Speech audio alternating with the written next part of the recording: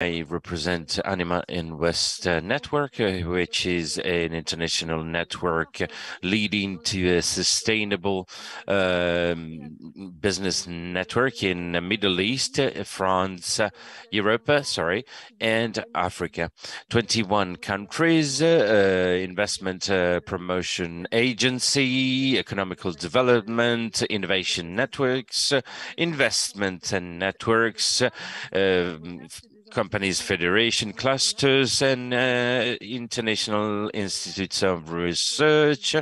We contribute to two uh, strategic axes, a, a, sustainable growth of the investment and of the uh, companies in lieu of, in view of the SDGs, and also creating linking between Europe, um, the Middle East, and Africa. This uh, webinar is organized around the CSR and of the role of the label. It is organized by Anima in the framework of the EBSOMED project. EBSOMED is a project that is co-financed by Europe, coordinated by Business Med, and to sustain countries from the uh, south of the Mediterranean and their a similar uh, organization in Europe. A couple of housekeeping information to start. You have a simultaneous interpretation uh, service, uh, French and English. Under the small flag. Um, S'il vous plaît, laissez vos, vos micros. Please leave your mics off uh, if you're not uh, speaking during the session, uh, during the Q&A. And the webinar is recorded so that you uh, can uh, see it in replay. These replays are uh, available on Anima's YouTube channel and also on the website in the best practices menu. Uh, a couple of dates to come uh, from next uh, webinars. Uh, these will be for the Meet Africa, 22nd of December, on the how to mobilize skills and funding from the diasporas, high-level talents, and 19th of uh, January, we will have financing diaspora entrepreneurs in the digital age. And the 23rd of February, we will have the African Diaspora Entrepreneur Specific Path we focus on co-incubation. Last uh, housekeeping point, uh, please use the chat box in order to introduce yourself, giving us your name, organization, and country. And then throughout the webinar, you can share your comments and questions and your experiences and we uh, will have a q&a at 9.45 with our panelists. I now move to the context of this uh, webinar. Why talking why talk about csr and sustainable development? You know more and more companies are engaged, are focused in uh, CSR approach, and the regulation is evolving rapidly. In this respect, uh, we see more and more visible examples in the media. You see some examples in on these uh, slides. Uh, projects that are dangerous for our society or the environment are systematically uh, reported. Uh, the uh, maneuvers for, of greenwashing can no longer stand, and this shows that the gravity of the challenge, the urgency of the situation is acknowledged not only by the scientific community and some activists, but from the uh, whole of the society. There are some companies pioneering questions like transitions and sustainable development. As stakeholders of economical development, we want to acknowledge this with uh, a webinar. Uh, Anima is working since its inception on question of sustainable development beyond a quantitative approach uh, in terms of CapEx uh, uh, investment, what has been invested in the Mediterranean country. The question that we asked ourselves is of is that of the quality of the investment, and we realized that there was a lack of a tool to determine Uh, the quality of the contribution to the uh, sustainable development. And today, and this is a result of an approach started more than 10 years ago, Anima is launching through EBSOMED a um, web tool called Impact Rating. This will be presented in a webinar in 2023 to help the companies define their eh, the impact of their approach. This is a tool to support companies, allowing to assess the performance and the impact of a company in the respect of in the environment, social, societal, and so on. And we will get back to this. We are organizing, first of all, this uh, webinar to talk about two main themes. First of all, the evolution of the rules and regulation on CSR, and especially on the adoption of a directive called the CSRD, Corporate Sustainability Report Directive, given a um, norms to have a compulsory uh, mandatory reporting about the sustainability of a company. This is really important because uh, Europe is uh, a pioneer with this directive, and so this directive can inspire partner countries. But we will have, of course, an impact on European and non-European companies through the value chain. Second objective of this webinar, we propose to reflect on how the organization supporting the companies can support the companies, uh, rightly so, uh, to tackle this uh, new regulation, this new directive, that, like everything, represents also an opportunity to have business models evolve towards more and more sustainability and uh, a better impact for the territory. In order to do this, we have two panelists today, Mélodie Meranda.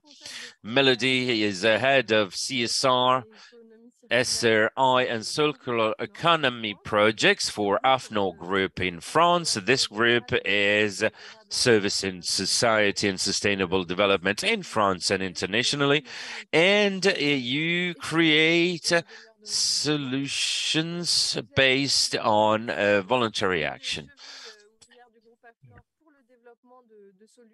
You are one of the major stakeholders for impact and uh, impact evaluation and CSR in France and international. And Second panelist, Douja Gharbi, you have more than 20 years of experience uh, in Tunisia and in um, Europe. You manage several companies in several sector, industry, service, or commerce. You are also expert and mentor, and you intervene as a specialist for the private sector for several international organization. You co-founded in 2019, the uh, Let's Start Accelerator in Tunisia, and you are still CEO. And uh, I will leave you the word to uh, tell us uh, what you do. You are a pioneer in the Anima uh, network, like as a founding member of CONECT, presiding at the moment the Anima network. And in CONECT, you follow CSR themes, uh, entrepreneurship, and uh, employment. Let's start with the first uh, topic, so the evolution of the norms on the CSR, and I give this delicate mission to you, Elodie. Can you present our, uh, can you present us, sorry, the new directive, CSRD? How is it organized, and what does that mean for European and non-European companies? Yes, hello, everybody. Can I share my screen? Mélodie, sorry. Yes. Let me share my screen. Hop, vous voyez bien tous et toutes? Can you see my screen? Yes. Thank you. So as Zoé said in the introduction, there are a lot of uh, projects on a European level on these topics.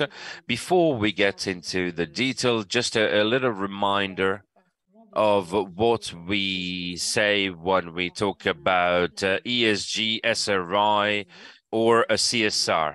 ESG is uh, a mm, set of criterias, uh, environmental, social, and governance, so ESG. And generally, the companies that are uh, best performing have a CSR uh, approach, uh, corporate social responsibility, and those who want to invest in terms of sustainable development have a approach with the SRI, um, responsible investment. As we were saying in the beginning, uh, the Commission, since now several years, has been reflecting on how to create a uh, normative a framework to uh, manage the reporting of the companies uh, uh, beyond a, a certain threshold we will get into the detail. Uh, this uh, the taxonomy defines a list of uh, economical activities compatible with the European environmental ambition. And uh, the uh, SFDR uh, rules define obligation in terms of transparency for financial stakeholders. Today, all the companies uh, with more than 500 employees have to uh, fill up a DPEF uh, where they have to communicate and report on their CSR approach and all the uh, companies in Europe uh, since the next uh, year, this form will transform in CSRD. So all companies with more than 500 employees will have to establish an annual report on sustainability uh, uh, with the themes that we will see afterwards. The application of this uh, new European directive will uh, be firstly for all the companies already uh, making a, an annual statement and starting from the 1st of January 2025, all the companies with more than 500 employee and having a, turnover of beyond 40 million euro annual. And starting from 1st of January 2026, all the uh, medium and small enterprises with more than 10 employees will have to do the, the same.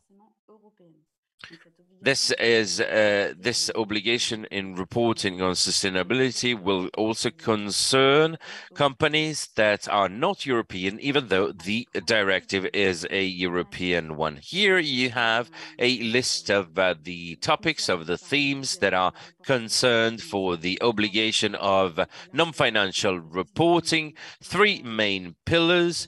Uh, you see the ESG uh, criteria here so they will have uh, uh, to communicate information in terms of environment, in terms of mitigation or attenuation of climate uh, change, uh, on social, mm, like fighting against pollution and um, respect of the land and maritime ecosystem on social they will have uh, to uh, communicate in uh, have it, the the the the chances given in the company, the working condition, the respect of the human rights, and in terms of governance, uh, they will have to define, they will have to inform on the composition of the administrative organs of the company, uh, eth inform ethical information, and uh, on company culture.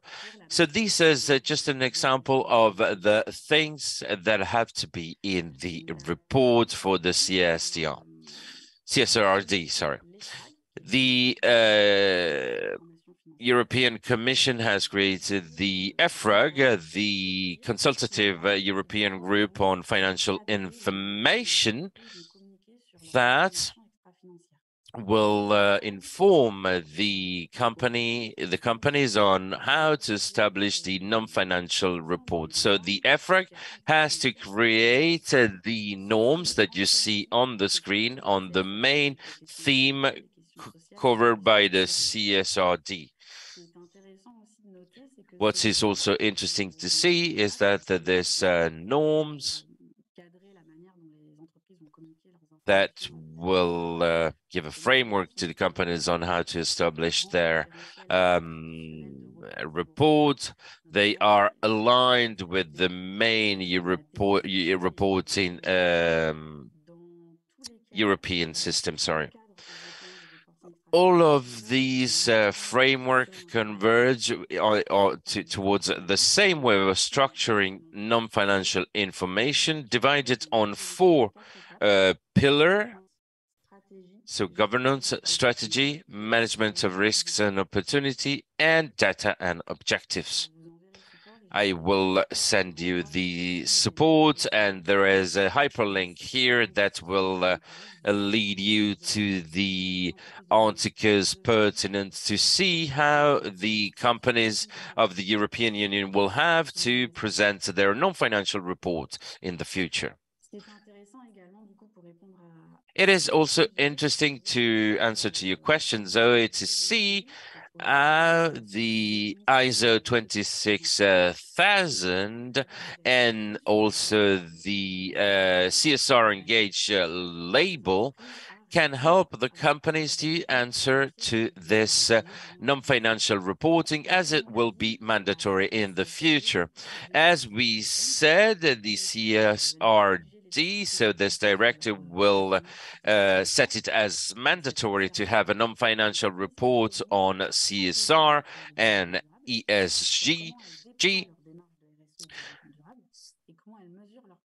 and uh, this will uh, uh, also help out to measure non-financial information. And what it is interesting is that the uh, CSR Engage label takes this logic and this approach of assessment of the sustainable development of the company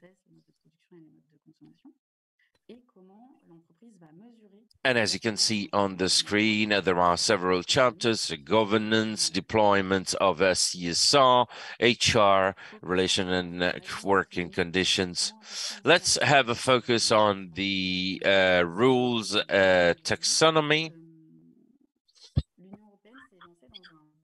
European Union started a great work uh, some year ago in order to put all the member states around the table and think together on how to structure a list of reference in order to define the activity sector that could be considered, could be deemed as uh, sustainable and this is the taxonomy. It's a list of activity sector considered by the European Union as contributing to the uh, sustainable development of Europe. More than 100 activities divided in three activity sectors. And uh, all these sectors are considered as eligible to uh, operate the energy and sustainable transition of the countries. A different the taxonomy comprehend two notions. It is important to have them in mind to create the non-financial report. The taxonomy lists all the activities that are eligible if you are part of the 100 sector of activity divided in the 13 activities that I uh, showed you before, you are automatically uh, eligible if you uh, if to be in order to be eligible to this taxonomy uh, you have uh, to fill three other conditions. So, to contribute to at least one of the SDGs of the European Union, not having collateral damages on the other five uh, objectives. For instance, if you are strong in terms of uh, um, circular economy, but you have a strong carbon footprint, you are not eligible. You do not fulfill the two criteria number two. And finally, third condition to be aligned, you have to abide by the human rights if you if you have a circular economy uh, but you exploit uh, children inside your in in in sub-Saharan Africa, for instance, that is an example. So this is the taxonomy. I think I said everything. I can stop my screen sharing, Zoé. Thank you very much. Maybe just a short recap for who it's applicable and starting from when this directive will be applicable. It will be in Europe, but can it have an impact for other companies as well? And then I will leave the floor to Douja to react on what that could imply and how to receive this information like in Tunisia or in other countries of the region. So starting from 2026 uh, on uh, the financial statements of 2025 is not only European companies that will have to abide and and, and comply with this non-financial report, but is also all the companies that are not necessarily European. They do not have their headquarters in Europe, but they have um, an activity uh, that generate uh, uh, generate sorry an activity in Europe that uh, with a turnover than more than 100 million euro. Okay, thank you very much.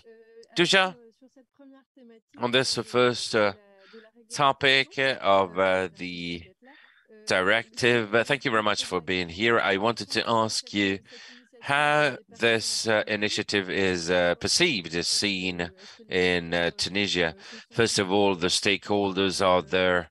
Um, are they uh, made aware of this? Is there any approach of uh, um, awareness raising? And what is the signal sent uh, to public and private institutions in Tunisia, and uh, what's the state of things in terms of CSR in Tunisia?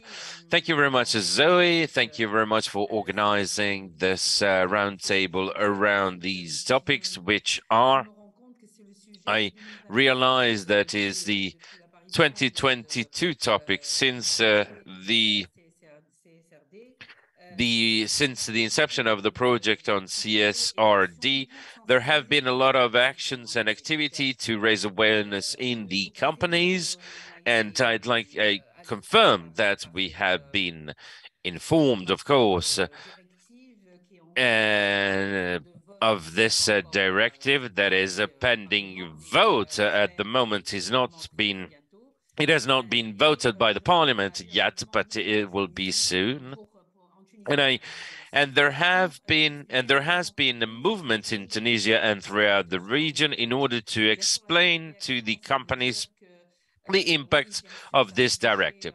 First of all, uh, of course, it will have an impact uh, in uh, on companies that are in the southern country, especially those who are part of the value chain, European value chain, and they have conditions that that make them eligible for this because they have business in Europe. Of course, this will have an impact on companies working on these value chain that are in the countries in the south of the Mediterranean, so in the region. We have to say that uh, there has been there have been many events.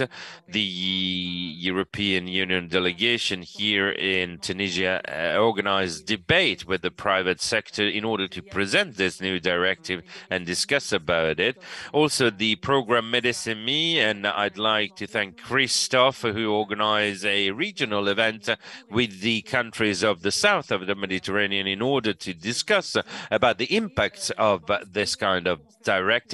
And I think we need to do a lot more because people do not understand.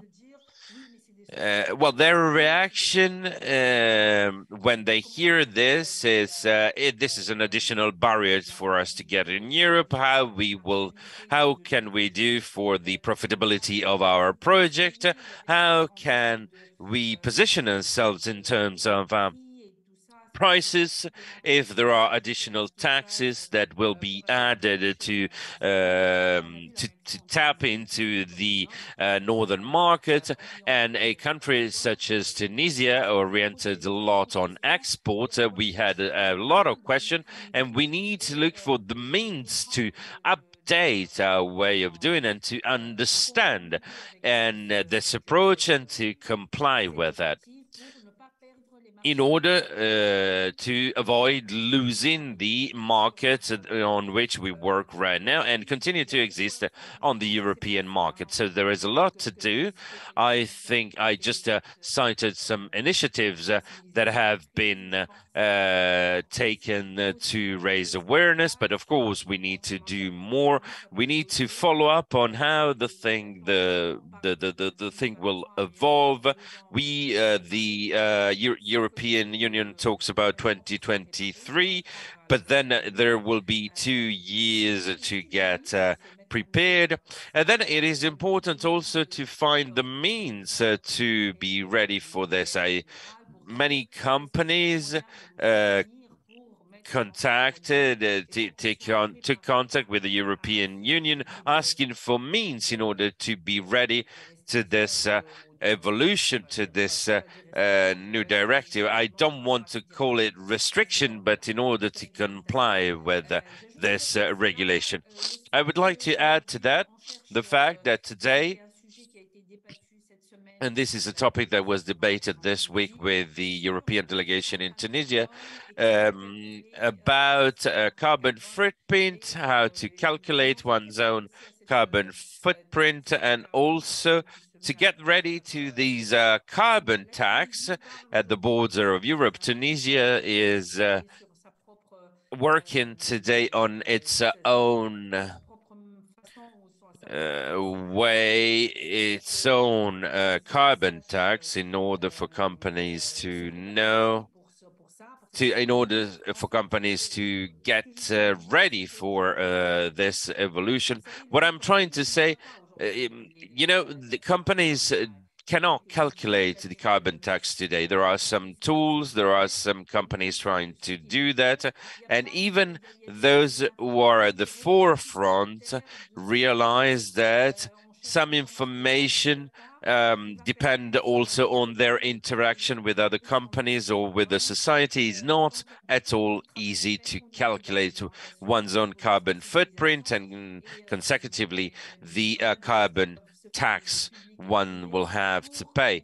There is a lot to do publicly and privately uh, to in the public sector, sorry, and in the private sector, in order to teach companies uh, uh, how to calculate uh, their own carbon footprint and the carbon tax they'll have to pay. And there should be some uh, uh, initiatives in order to help them do it uh, and uh, help them not to lose the markets they have in Europe. Thank you very much. Thank you very much, Douja, for this uh, uh testimony. Uh, the directive has been adopted on the November the 10th last. Uh, there are some uh, positive elements with the European Parliament lately, uh, luckily enough, and the next step will be in 2023, will be the publication of the norms in order to uh, formalize all of this. Thank you very much. I lost this information. Okay, but is it the objective of the webinar now? So to continue on what uh, you said, uh, Douja, giving oneself the means, raising awareness, and not starting at the last minute, yes. Um, it will be a financial performance factor for the companies to be prepared to this obligation in time, not only because it's uh, mandatory, it's a regulation, but also because we are on a, an approach on defining what is my impact, trying to lower it mais voilà, la, la, la RSE, c'est pas seulement un coût, c'est surtout un investissement. I, I, CSR is not only a cost, but is uh, something that is good for the companies and for the society. It's something that we highlighted in a conference organized by CONECT on CSR at the end of October in Tunisia. This uh, leads me to the second topic of this webinar, how the organization to support companies can support their companies. We understood the importance of uh, the approach to raise awareness, but uh, on the operational level, another important approach is to propose some labels. I will uh, firstly give the floor to Mélodie to test to give a testimony on the, her experience with the CSR label created by AFNOR what is that about and how does it help companies to get in ready to respond to this new directive and obligation and also how and why it is a tool to steer uh, non-financial and financial performances of the company. Mélodie, the floor is yours. Thank you very much indeed. Thank you. I share screen. Can you see it?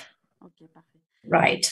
Good. Very good. So as I was saying, indeed, this commitment is a method, an assessment methodology that uh, aims at uh, an approach structuring uh, with the um, aims, uh, priority aims, as is asked. So as we as we said, this is going to uh, have three typology of information, so strategy and enterprises, and so we should uh, communicate to financial extent that is, is a contribution to sustaining develop, development and it has no impact on the environment. And uh, is supposed also to be uh, evaluated on the govern governance basis um, in order to create a really sustainable sustainable activity. In second, in a second time, the companies should communicate how this was possible, how did uh, it being implemented, so who does what, and how this is an answer to priority goals of the strategy. And finally, in third place, this has to um, prove to the stakeholder the results. The results are connected to the priorities. This is what this directive is going to ask to the enterprises that are uh, involved in that. And today, it's very interesting to say that these enterprises are already committed to this RSE uh, path. And so they are already uh, involved in globalization exercises, practices, and so they already have this approach. They have already these habits. They are used to that to relate that to priority goals and to implement this uh, um, approach and measure performances. And if we look in details, the way that that is has been constituted, I mean, the reference you can find three chapters. The first, you can uh, see the governance of the company, the way that those are being implemented as far as the sustainable uh, development is concerned, how they are identifying these priority goals, and the way uh, they are positive examples uh, in order to boost the development, the sustainability development is concerned. So chapter two, three, four, and then five.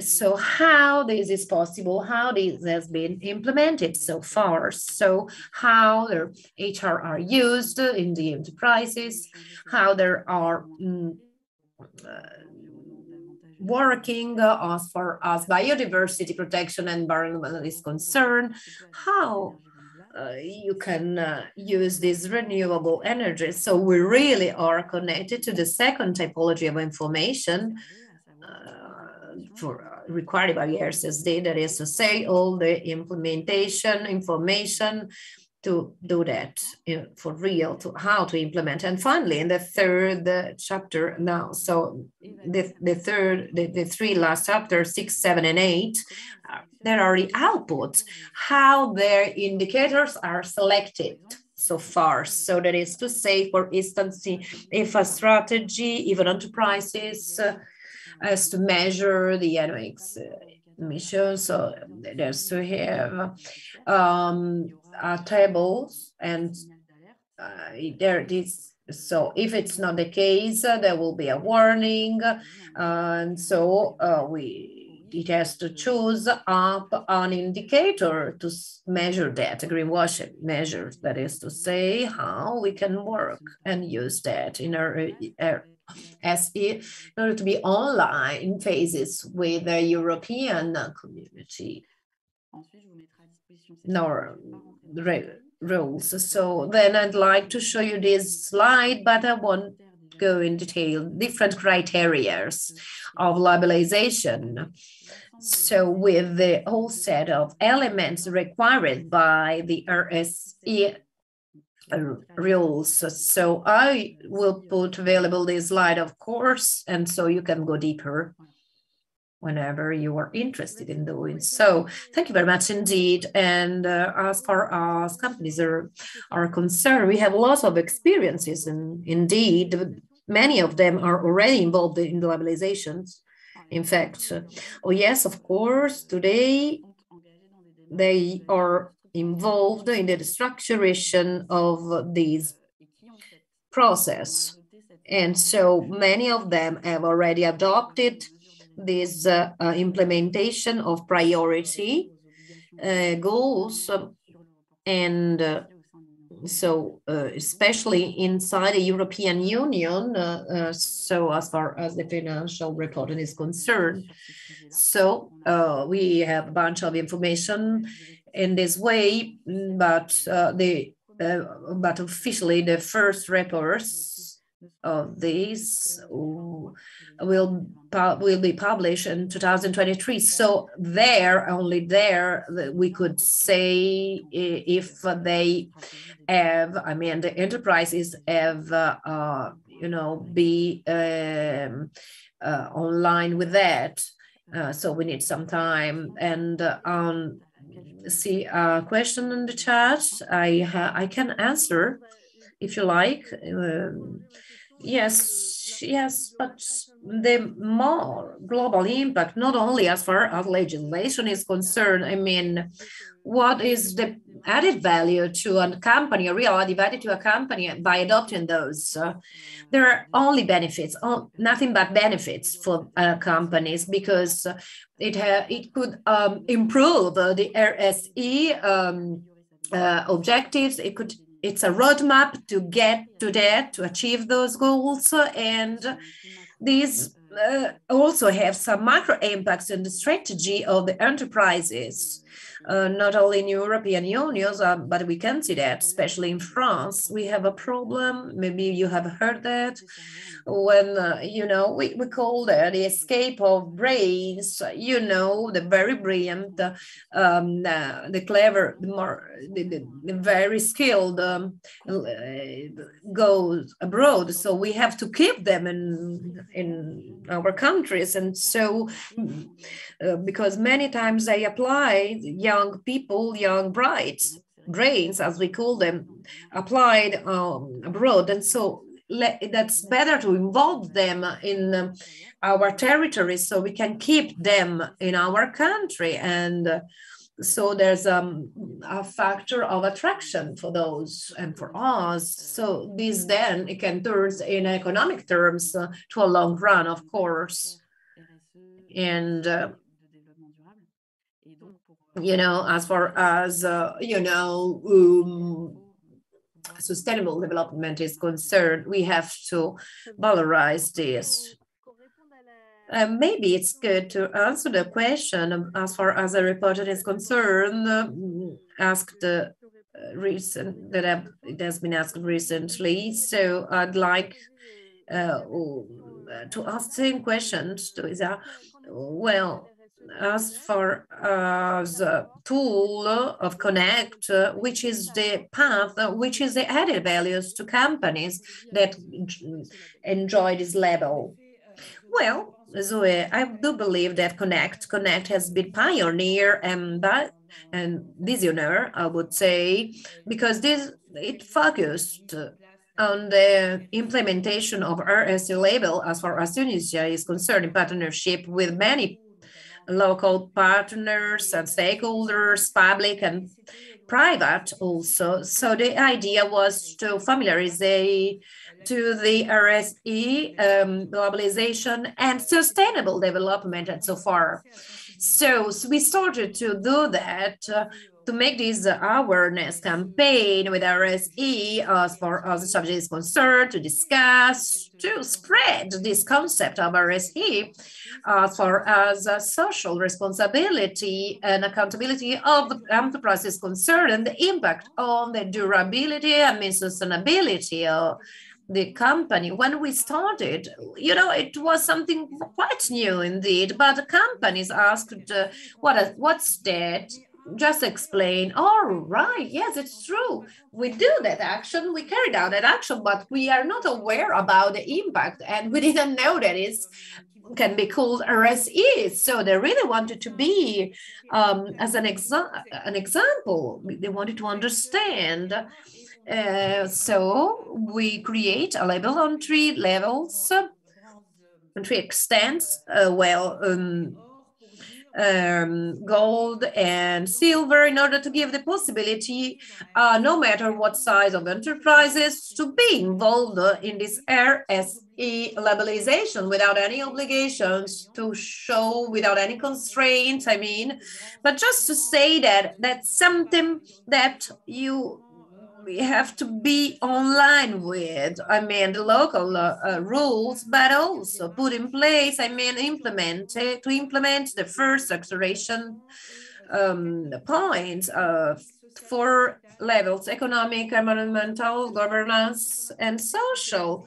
So uh, we had some um, goals that weren't as, uh, as measurables. Uh, we couldn't assess that, but we we tried to create a chart for citizens, and this was very good to communicate towards members and stakeholders. And then we created a, a data a bank in order to uh, have some uh, uh, explanation about the differentiation of labelizations where we gold uh, label, the gold oh, oh, the top, of course, that needed uh, reporting. So, I mean, that today, of course, the labelization, uh, it, uh, it, has a cost. We have to accompany them.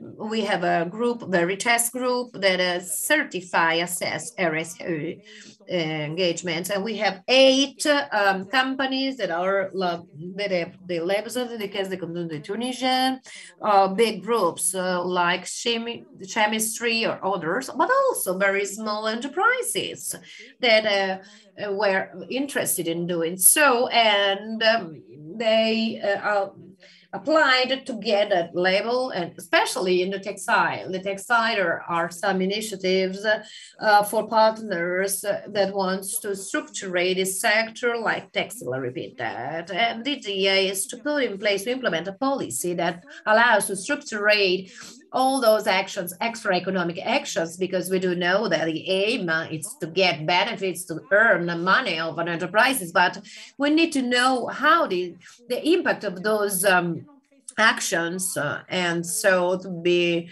uh, well set in their territories which are the, the interests of uh, stakeholders the chain value the value of chain you know the best practice as far as responsibilities is concerned and so far so on so i'd like to say that there are a lot of initiatives like bourse say uh, the state market that um, launched AG reporting uh, for the um, um, stake uh, market exchange.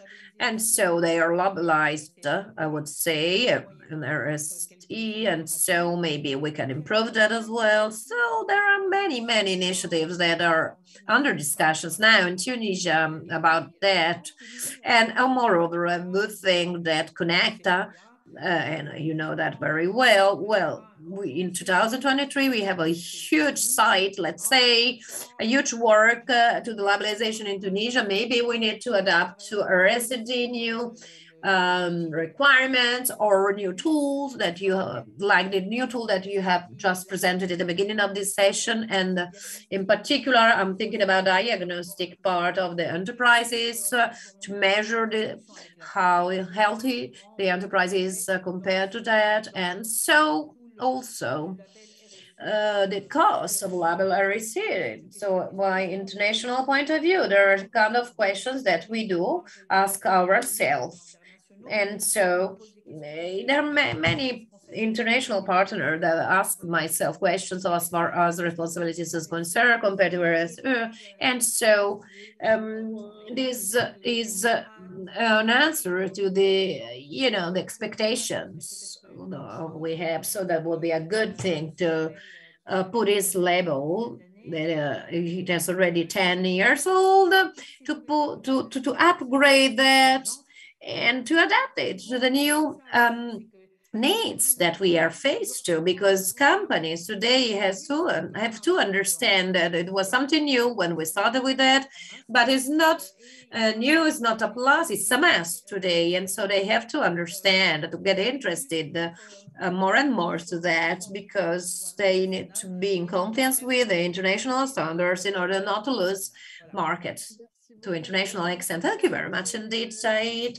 Thank you very much indeed. This last point, it, you know, uh, it was related to the um, international stuff. So we really uh, need uh, to understand now uh, about these, uh, but I want to give the word, the microphone, Christophe Labelle, that in order to um, get to do him to tell us more about this project because I think that is the time to, um, you know, to call him as far as you have any questions related to this subject. Christophe Mollen.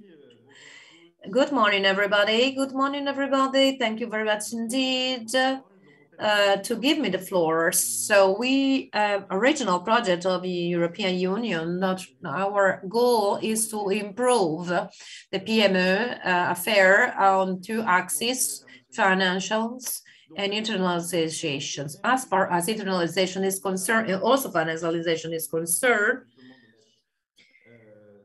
I would say that we have to put some standards in place and so those two pillars, those two subjects are are impacted, uh, affected by the evolution of rules in Europe, and not only, of course, and they have an impact on the chain values of the neighbors countries uh, on the south the, of the Mediterranean Sea, uh, starting by Morocco and to Jordania, all those countries in between, and uh, yeah, of course, we um, there was a European delegation in Tunisia, and we have to discuss this point, and we did it, and which is the impact as far as concert is concerned, but in term also about opportunity, opportunity to get chances. So I won't be very long, but we the output of these discussions, dialogue that we had and we are seeing that today. I have under I have heard private stakeholder, private stakeholder. Is more private as far as the issue is concerned, but we are uh, we are talking about um, environmental of affairs, and so we are more, uh, you know, act we are um, we aim at the um, public sector. Why? Because we do believe that in the private sector, the private sector is more advanced in that. And so let's ask why. The does it depend on uh, some strategies? Well, we're talking about Anima now. This very good uh, project or should we uh, integrate these aspects in deeper in national strategies? So we were wondering that if institute whether if institution if institutions are able have the capability to do that. In my opinion, that's a no. We have a huge gap to uh, uh, to work on with. So we are wondering, and we wonder, and we ask the European Union as well, uh, as far as international cooperation is concerned, it's time to up to, to prepare an upgrade plan for the uh, neighbor countries on the south of Mediterranean, like you know in 90s some initiatives for those countries on the south of Mediterranean region to uh, you know uh, be online with industry as far uh, in order to be more present in the European market, but not only. So we have to be in phase. 25 years uh, passed from that time. And so today we have to upgrade uh, enterprises. And that's why, and that is why in my opinion, that would be appropriate to think a new partnership in order to uh, um, aim at this moderniz modernizing these aspects. So policymakers uh, have to uh, review their investment strategies, and that is the work to be carried out, in my opinion. Thank you very much indeed. Um, these witnesses it was very interesting. So uh, to uh, call the public sectors to be more and more involved. So do not hesitate to um, answer to this point, to react to this point uh, issued by, raised by Christophe Malot. So um, the meantime, I just suggest to um, uh, see questions by Monsieur Sati. Their uh, melody, it might be for you. This uh, CSMD and Green. Yeah. Yes, the uh, question was uh, the reporting uh, as far as the reporting is concerned. So, well, I'm thinking about reference. Yes, yeah, completely that I want to try to, that was I try to explain my slide, but I don't know if this has passed in the translations. I mean, the European Commission, the Parliament, um, foreseen to uh, prepare uh, to be uh, to put a line to be online to link um, with this uh, European pronunciation the Algeria Algeria Algeria if uh, we GRE uh, this GRE these initiatives that's a frame for all companies with an extra financial report So uh, GRE, GRE is integrating in this version, in this, this frame, let's say, the structuralization of SSRD. That is to say, it has to be online in, and so big, big references institute by an institutional point of view or to global extent has to um, make uh, uh, able this convey to the same methodology of assessments to be able to enjoy the same um, inve investment investments, the same possibility for everybody. Uh, thank you very much indeed, Mélodie. So another thing, question about uh, uh, international recognition uh, to the label at the international extent.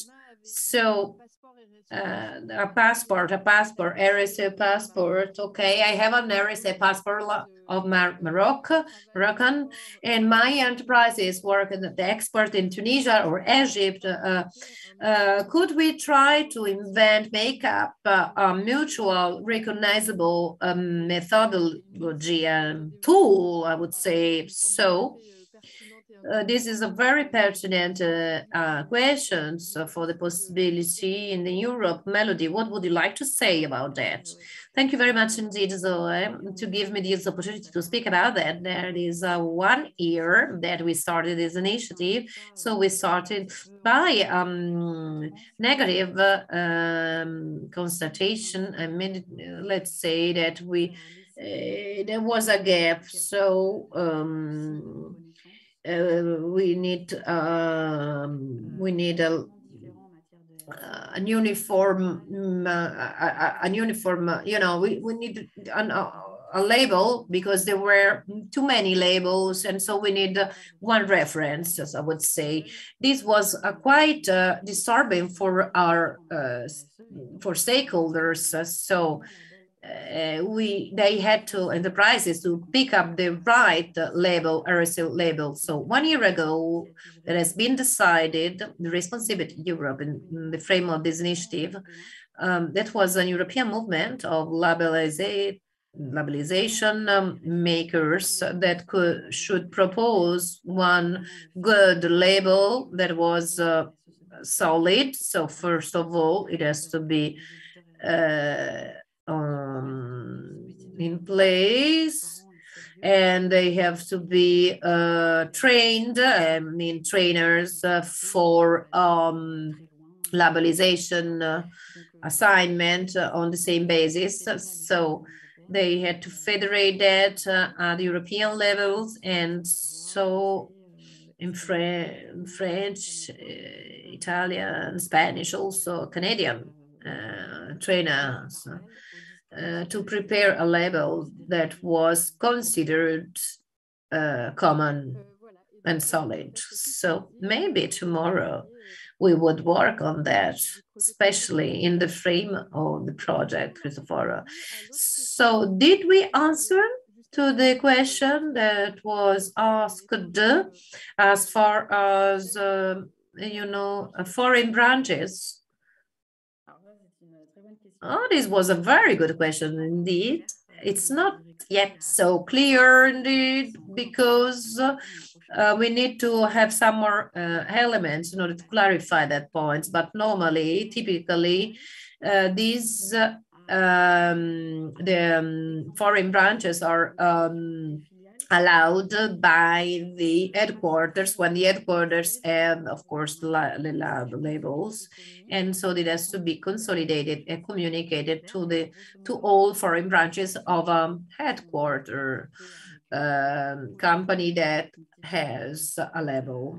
I do not know if this is clear, but the branches uh, can't, uh, uh they can't uh, uh, prepare their uh, reporting. They need to go through the headquarters, and headquarters have to communicate in the frame of uh, uh its uh, report to the to our committees. So in any cases, even if uh, there is this possibility, I mean, that the foreign branches can uh, make uh, their it, its uh, own report. I think that is interesting that uh, the um, you know the companies has to uh, report their goals and achievements because that is gonna be uh, uh, compulsory, mandatory in the future, no matter the size, no matter the staff and so far so on. So uh, that is uh, possible to be uh, mandatory in the future, though that is a very good habit to do that. I hope that is answer to the question. So do not hesitate, uh, but I just uh, like uh, to share if you want um, you know, to take the floor, but when shall we introduce that? I mean, the roadmap, the roadmap, which is the uh, work of, to the months to come to implement this tool online. So we discussed that during the um, academy last week in Marseille with many organizations, so in Tunisia, Jordania, Morocco, Algeria, and Algeria, many, many countries. And uh, unfortunately, we had quite a few problems. But anyway, as an example, in France, okay, I can see the reaction of that. I hope that the problem of visa would be uh, less and less present in the future. Anyway, what I wanted to say, just to give some concrete examples, that is an issue, that is an issue which in central part of the um, of several organizations. So we are thinking about this, especially with the business course and uh, in national extent and also regional extent, Resonant Free and Provence Promotion that uh, wish to adopt this tool in order to follow the impact on companies, on enterprises, uh, no matter for modulation of um, in enterprises projects or organize actions, even events for investments. That's something that is a priority now uh, in this uh, net ANIMA networking. So I'm gonna share my screen now and uh, uh thank you very much indeed for all uh, of you and thank you very much indeed to Mélodie and well for these uh, the presentations of those very complex subjects uh, for our companies and that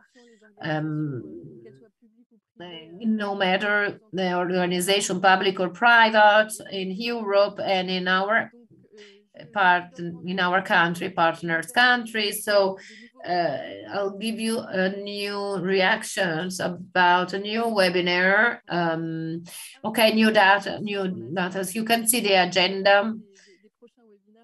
The next webinar organized on other subjects uh, here. So thank you very much indeed. Thank you very much indeed. We are on time, one hour time. So please uh, spread the documents, spread that, and this output that would be very, very soon um, spread. Merci.